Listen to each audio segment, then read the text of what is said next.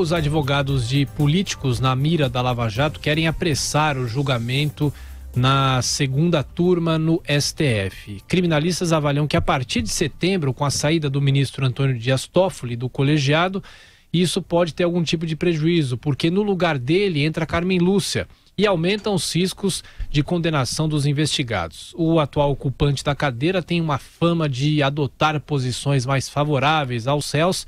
Já, claro, a presidente do Supremo é tida como mais dura e sensível à opinião pública nos casos de corrupção. A postura dela tem um caráter mais alinhado com a postura do relator da Lava Jato, o ministro Luiz Edson Fachin.